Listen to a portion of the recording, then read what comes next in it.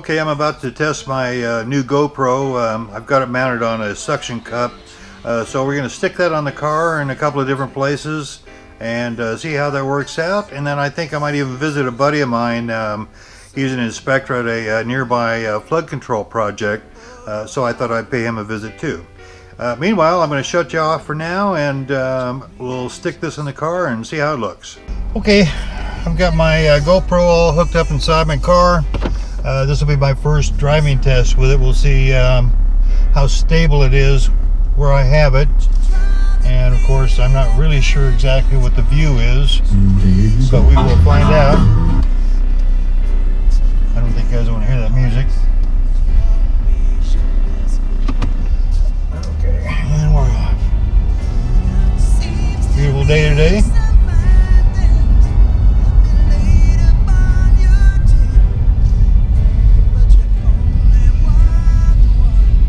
Wish I had my gimbal.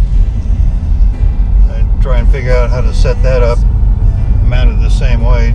Hopefully the uh, image will be a little more stable. The uh, camera turned facing me. I have no idea if it's pointing the right way or not. Let give it a little bit of a turn.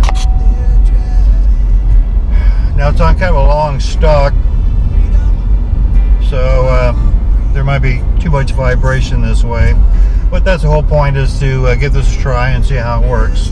Um, like I said, I'm just concerned it might be a little long and uh, vibration will be an issue. Um, we'll find out. I'm uh, almost at the uh, flood control project now. I'll be walking over to uh, the project to, uh, to pay them a visit. Um, meanwhile, I will get back with you then.